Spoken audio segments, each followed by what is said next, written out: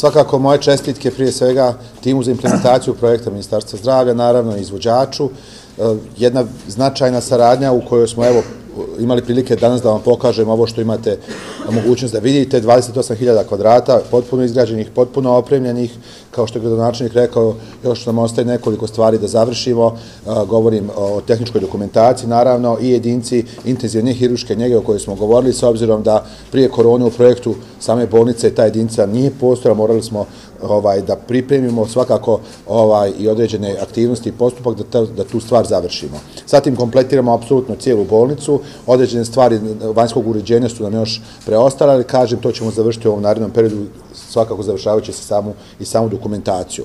Uh, plan preseljenja bolnica priprema i radi, iće u fazama, svakako proces rada ne smije stati kada govorimo o zdravstvenoj zaštiti u okviru doboja, znači uh, paralelno će se i preseljavati i raditi po tom pitanju, građanima mora da bude sve dostupno u tom periodu, ali svakako ono što će biti vrlo važno je da kroz ovaj cijeli proces imamo i obezbijedili smo dovoljno kadra da radi u ovoj novoj bolnici. Hvala. Koliko je para sve tako? Da, što se tiče samog projekta, vrijednost je 103 miliona konvertibilnih maraka sa PDV-om, ovaj, tako da evo, to je svakako ovo što je uloženo, imate prilike svakako da, svakako da vidite. Hvala.